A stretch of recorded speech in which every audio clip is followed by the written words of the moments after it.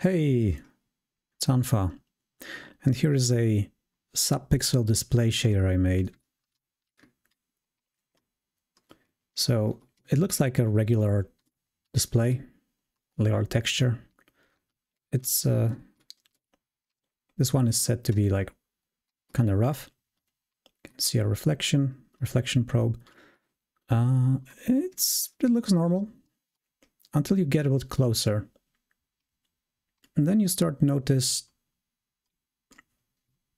the actual pixels or even subpixels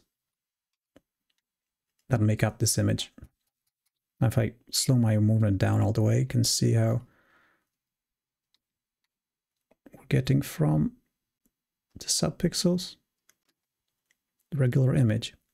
Now this shader is made to introduce minimal aliasing, but it there's a difficult balance between aliasing and sharpness, and well, I'm trying to uh, strike a, a good balance here. There is some aliasing, and you can see at some at some positions there is some moiré effect and stuff, but it it's pretty tame, I think, and it disappears when you enable TAA. So this shader plays nicely with TAA, and it works well without it.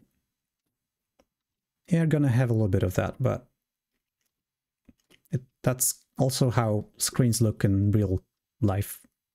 I mean, if you if you record them with a camera, so yeah, this is no better than that.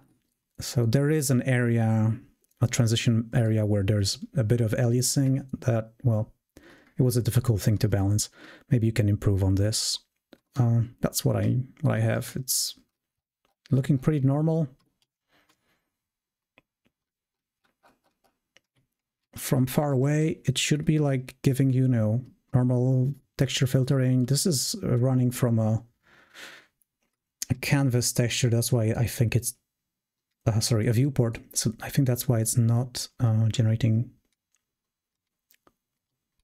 not as smooth uh, as should be, but with just a regular texture, you're gonna have, you know, mip mapping and stuff.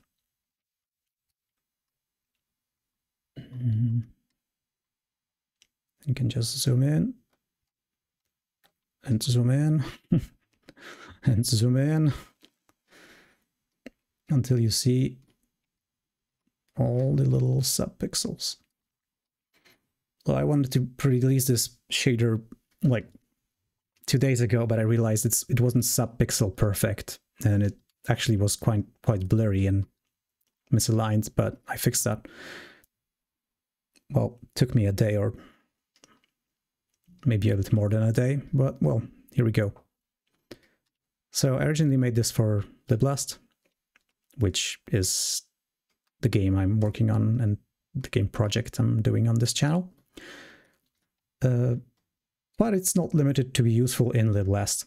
Uh, if you are interested in in a open source game made with open source software only that is made to prove that hey you can do that stuff and also which is built as a framework and the game kind of separately to hopefully enable making commercial games on the same framework very much feasible well if you're interested in that for first person shooters with networking treated as a as a primary target well you might want to stay on this channel and check out other things.